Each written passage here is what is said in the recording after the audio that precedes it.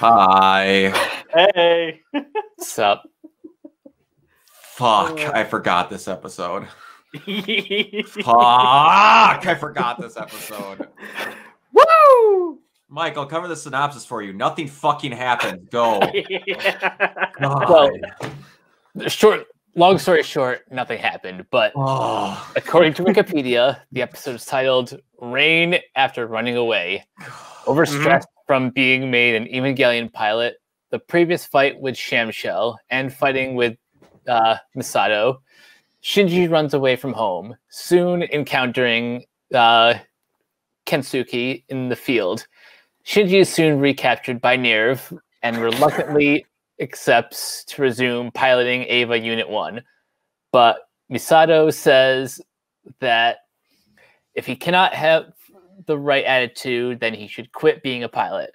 She forces his resignation, and after saying goodbye to his classmates, Shinji prepares to leave Tokyo 3 by train. However, at the last minute, both Shinji and Misato have an epiphany that gives them a deeper understanding of each other. Shinji does not board his train to leave Tokyo 3 and decides to stay. Misato welcomes him back. Um, Mike, you had a rant. Go ahead. basically, my rant is two words. Fuck Shinji. This miserable piece of Remember how mad you were for three episodes with Simon? at least that was three episodes. and it was underst- it was understandable. Kamina Kamina passed away, he sacrificed his life, and you know, they they, they were bros. So you know, I I understood that. Was it frustrating to watch? Sure. This was an entire episode of only the frustrating parts. and, and I, I, I usually don't squirm when I'm watch when I'm watching fill like filler episodes, but th- th- this one this one made me squirm. It it it made me actively say, "Come on, get on with it." What's What? what, what's the story here? You what? You didn't get the deep ingraining story and plot filling details of Shinji watching that couple fucking in the theater. Even right after he said, "I gotta get home," uh, I guess I'll go see a movie first. yeah, no, this is this, the, this is the equivalent. Before we get too far, I'm going to make a Fresh Prince of Bel Air reference here. Not Ew. something I thought I was going to do, but now I remember this episode. At the end of like season two or th- or like three or four, like Will goes back to Philly, and then at the season finale, he tells Aunt Viv over the phone after some epiphany he had with an old bully that um that he's staying home, that he had the whole situation wrong Oh, and yeah. then an episode, and then the next episode right after it, Quincy. Jo- I no, it's not Quincy Jones. Like some new, some executive from the from the uh, development company that makes the Fresh Prince of Bel Air literally drives up to the restaurant that he's working at and goes, "Will, what are you doing?" He's like, "What? I'm going to stay here. No, you have a show to make. Get in the van." And they throw him in, and he just starts the show again. This is literally this episode. Yep. Yeah, it was my least favorite episode as a kid. Just think about because you know that's the kind of episode you want to see when you're 11 and all you want to see are robots fight giant monsters moping. And I get it; it's it's character development and all that stuff. It's it's well development, um, Yeah. and and all that jazz. But man, it's a boring episode, and it's like okay, we don't have too much of a budget, so we can't really have anything happen. And I, I mean, I get where they were going with it, and it's like, yes, this is all completely traumatizing because apparently they have to have 14 year old kids pilot these robots instead of, you know, adults. Oh, did you notice that after the fifth time they mentioned it now? Yeah, now this just reminds me of a Demetri Martin joke where he's like, he's like, I love kids. You could say you love kids. It's when it's when you get specific is when it gets creepy, and then Yeah. instantly says like, "I like twelve year olds." Yeah, yeah. no, it's just like I don't know why I, I hate this kind of funk like mentality. It's like I, I get it, anime is a young person's game, young heroes and all that stuff, but yeah, I'm sure a kid watching this is like, man, I want to be Shinji when I grow up, emotionally and just mentally traumatized by war be- because I'm nothing more than a like a cow that they're going to milk until I'm dead. I, I think what really bothers me about about this premise so far is like like you said how specific they are. Like you have to be you have to be 14 what what what happens if they turn 15 they they say You're yeah gone. there you've you've you've done your time now. Fuck off forever. Uh, also, all for forgetting exactly when they do the whatever, but it's like I'm also forgetting rewatching this that they go out of their way to mention that they have to be 14, but they never go. And here's why. No, they never explain. and they keep and they keep and they keep using the Rei guilt trip where it's like, God, they, they keep it's like, okay, we got Shinji's gone because he's a wuss and a coward. Let's get Rei back because you know she's still recovering and all that stuff. But let's just keep sh- reminding everyone how just it- ah, it's like the other side of the uh the scale of piloting an Avo of Rei, just because so far we've seen Rei in nothing but bandages and just really doing nothing. yeah. And uh and and I get I actually kind of like the stuff with the bolt with uh Toji and such. Though I also forgot how much how many times this show this whole show in this one episode is just like, man, Misato's hot, isn't she? Yeah, she's hot. Yeah, Yes. Totally. Five minutes later, oh hey, it's that babe. Yeah, she's hot. Man, Shinji is lucky without thinking about the traumatizing strain that go- Shinji is going through.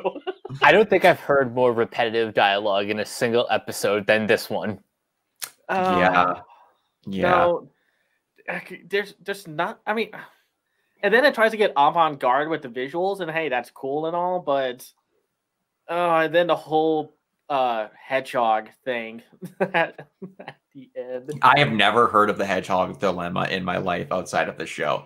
I feel like this was I, for some reason I thought that was the original title of this episode for some reason because I remember them I remember that specifically and oh gosh just.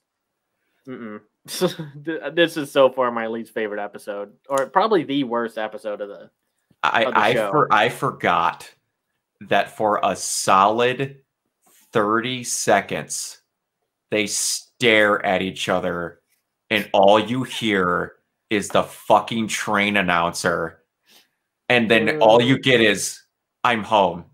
Welcome home, Shinji. See, I could see that working. That I've seen that work before, but it's like I don't like Shinji. This is a problem with anime taken for everything from Eva, and that means having a whiny little baby of baby of a pilot like Shinji as your main character. He's he's not endearing. I mean, I, I I get it. At the at, back in the '90s, this was probably fairly unique to have a mopey, wet blanket of a protagonist, but Mhm. it's not endearing anymore. Mm-mm. It's, No. It no. And since there's barely a whole lot to talk about with this one, I forgot that they the Netflix version of this release does not have "Fly Me to the Moon" as the ending song. I for, I keep wanting to bring that up, but I forgot. And Yeah, that was one like, thing people got the most pissed about when they were re- airing the show. I mean, that's such a part of the original release. I don't know if it. I, I get it; it's a copyright thing, Mhm. but it's such a part of the show. Just and you're Netflix.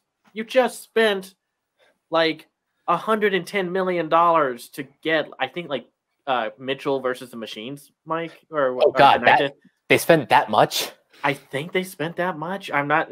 I'm just saying it's like you have you're spending money and burning it left and right. Get the get the rights. Come on. Um. But part of me then- part of me honestly wonders if that was the musical artist's choice Hmm. maybe I, I can Could- understand could if that's the case. because You- like they got cruel angel's thesis at the start of it but they didn't get that so it was just like both of those are pretty well known and i don't remember if it was both exactly written the whole nine by both the same people but part of me, and the only thing I can think of, like you said, they've got money to burn. There had to be some pretty asinine reason why they couldn't get that. And and I'll, I guess I could say one thing about this episode. I just don't like any of the characters so far outside of the two school got friends of Sh- Shinji. It's like those, those, those know, two I- I'm- characters are the are the ones that have the most personality. I, I, I'm getting tired of uh Misato because it's like she cares, but then she chews Shinji out for Shinji being a passive aggressive little little turd, and then it's like, uh it's it's like uh, I don't know. The, It doesn't help that we takes a little bit for us to get the other Eva pilots. So we Yeah. basically just get Shinji and Misato shoved in your face consistently. and golly, and then it's like, yeah, we're not gonna get a. I I'm not gonna spoil who, Yeah. for Mike's sake. Um, until like I think four episodes from now. So if I if I remember the if I remember the order of the episodes correctly, we don't Mhm. get the next pilot until then. And Yeah. and thank thank goodness because for this episode remind me that like I might have not have liked how this, these next two have been split up into into two episodes, but I still remember liking them a lot more than this than this one. Mhm. I mean, what else is there to talk about? I, I- I get it. I get what they're going with this episode, but They overdid it. Like th- this episode should have been half of an episode. Mm-hmm. cut out the whole theater thing, cut out the stupid jaunt in the woods where they're playing make believe military men, and just like have him run away. You don't need to show the train ride. You could have had him run into them, and then the Nerv police find them in 10 minutes. And then they're just like, no, get back here. We're going to talk about some stuff. And then let you decide if this is the true thing and not just berate you and kick you out within minutes. oh, oh, eh, here's here's something I forgot that that kind of hit me like when Shinji was in the forest with uh the other kid. Um, if Shinji, if these 14 year old pilots are such an important thing to this operation, why did they wait so long to go and find Shinji? Like, I don't know. Did, did do they not like put a little tracker on him or something? I mean, I I have no idea. It's like it took it. It, it this will remind me of why I, I get annoyed with Gainax animes from time to time, and I was like this with Fooly Cooly or FLCL, and because it's like, oh, the main kid is just gone for an undetermined amount of time, and the dad seems like, okay, no worry, nothing. He's like middle school at the oldest, if from what I remember correctly. Mhm. We'll we'll have to do a fresh takes on the first FLCL. And, and the worst part is there was no point for them to go find Shinji. no, All they did was punch five holes in his access card and then shoo him away. And they were already saying that they were going to rejigger Unit 1 to raise specifics. So it's not like they were going to talk with him. Yeah, so uh, it, it's just another useless moment in this episode. oh, and oh, they drag out so many parts. Like I forgot how long the train sequence was. Not the not the one at the end, but the one in the middle or and Yep. what have you. And uh man, this is why I I like more inter like energetic giant robot shows because so many want to be like Evangelion, and then it's like this is what you get. yeah. And this is where I try to tell people that, like, none of my friends like mech animes. None of them. I'm incredibly shocked that I got my friend Chris to watch um to watch uh Gurren and then Darling and now has actually asked me to watch Eva with him. And because I explained it to him where most mech animes outside of like Gundam and a couple of other things have a lot more endearing things to the side that are basically what the show is about. And then all of a sudden it's like attention span for kids. Big cool fights go. Like it's you have the plot that drives you forward, what you want to care about with the characters, and then it's like they need to kick the bad guy's ass. And mm-hmm. like this, this has it too, but it's almost to where it's a 70 30 split. And I try to tell people that my explanation for why you should watch mechs only works sometimes because if you don't like, oh boy, if you don't like Eva within its first like seven episodes, Then you're pretty much SOL. yeah, I, No, this is man. I would have been so mad if like I was covering the anime season back then, saying like, "Oh well, yeah, that was a pretty good first three episodes," and then this fourth episode hit, and I would have been so mad. Like, this was a terribly terrible episode. Just no. yeah. And it'll get better. We'll get more cast members and Oh, you get oh, more yeah. interesting things. It's just that, It only Mm. goes up from here. So yeah. Well, that well, that's a relief because Ugh. if I mean, it goes up as far as I remember. I like I said, it goes Yeah. up to a point, and then I forget the rest. So yeah. I, I I think my problem just right now is they haven't filled out the cast yet. It's it's Shinji, it's Misato, it's his classmates, and the like the people at Nerv. But other other than that, other than that, I'm I am waiting for characters that I actually give a shit about. You're waiting for a character whose name starts with A. yeah, and also just kind of I'm just waiting for Rei to finally start being a part of it, a part of the episodes and the plot. And, and, stop, plot. and stop being covered in bandages and well, it's just like stop being the guilt trip, the guilt trip stick, and like Yep. using that on Shinji to beat him, beat him over the head with it. It's like Shinji, if you don't pilot the Eva, we're going to use Rei. They might as well be beating him with Rei, like at this point. Oh, it's like she's dark. injured. Boom! Are you gonna pilot the back? Boom! Oh, that's My God, we got to see her in a scanner this time. They might get her better by the end of the first season. Oh Gosh. God!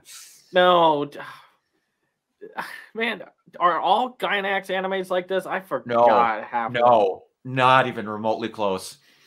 Just like it's this, you get Gurren, you get Kill la Kill, you get uh, uh, panty and stocking. Pain and Stocking, you have uh, uh, Promare.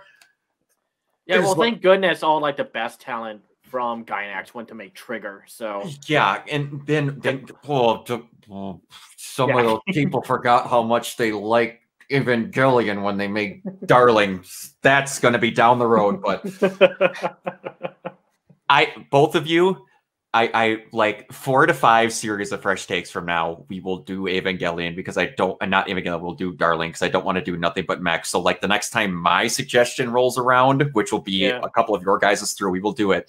And after we watch it, we will watch. Oh, what's his name? He's an anime reviewer that I really like. Ah, Last What- reflection. no, it's a guy. Mother's Gigguk. Basement? Oh. Gigguk. Gigguk. Oh, okay. Gigguk has like Darling in the Franxx in seven minutes, and it's one of the funniest fucking videos I've ever seen in my entire life. And the just the start of it is like, is anyone trying to remember that this show is exactly like Evangelion? And then the head announcer's like, I swear to God, if one motherfucking person says it keeps reminding us of Evangelion, and then True Angel Thesis plays as the intro starts, it's the best. Oh, it's the best. Gigguk's Ah. fucking amazing. But yeah, we'll we'll get that. We'll get there. There's We'll gonna be other stuff in the way. But uh yeah. Yeah. Um so Mike, personal outside of fuck Shinji, what's your personal opinion of the show so far? Um, it had. You know what? I think so far, I like it more than I don't. This this episode, this episode sucks. But the things that Yeah. the things I like are I like the design of of uh, the Evas. I like how the angels are just kind of blobby, monstrous things. hmm um I, I I like sort of the like the pseudoscience behind how how these things operate um and i thought the train the training sequence in the in the last episode was pretty cool but this ep- this episode if if if we if we weren't reviewing the series That was gonna be my next question. yeah if, if we weren't reviewing the series this this would have been the uh, i don't know moment Yeah. No, I, I uh, mean, gener- generally speaking, I I won't I won't quit a series until un, until I at least finish the first season. But God, this this this episode was like a dent in the a dent in the armor. yeah, that, it's like you got all of season one of Hoops at once. Sorry, Fuck if you know show. Mike and I, if you know Mike and I from our podcast, we we labeled that show the worst show of 2020, and it was just miserable. And I almost, I feel like I almost lost my co-hosting gig that day. Yikes. yeah, Uh, yeah. So, um, yeah, worst it- it- episode. worst episode, and it's gonna be hard for me to remember. Like, if I could watching the fifth episode, if I could literally just suggest to people that there is no point in watching this episode. I think you could almost make an argument that you, that you can just skip this episode. It's it's kind of like the barrier of getting into Goblin Slayer. If you can, you can just kind of skip that first episode, and then Mhm. you'll be fine. Same thing with Black Mirror. Yeah. The good thing about Netflix though is you don't have to watch the episode at normal speed. You can you you can literally turn turn up the like turn up the speed on this episode if Yeah. if you're get if you're getting bored. they should just relabel Yeah. it the mo. The, they should just relabel the episode the Mopey Sad Boy Hour, ha, like Variety Hour. just he runs away, then he didn't. the end. the end. All right. With that, God, I can't believe we got 21 minutes out of this episode. Um, okay, uh, Cameron, where can they meet you? uh, you can find me uh, on Twitter at Cam's Eye View. I have my own website uh, called camseyeview.biz. I review animated films on that site called The Other Side of Animation. I have a Patreon at patreon.com slash Cam's Eye View. I am also the co-host of the Renegade Animation Podcast on renegadepopculture.com. And I'm in the uh, Renegade Pop Culture Facebook group also. So that's where you can find me. All right. Mike. You guys can find me on Twitter and Instagram at Captain K42.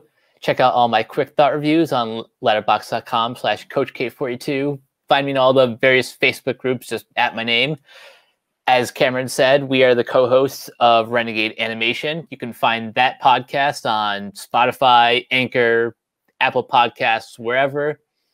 You can follow Renegade Pop Culture on Facebook and Twitter at Ren Pop Culture.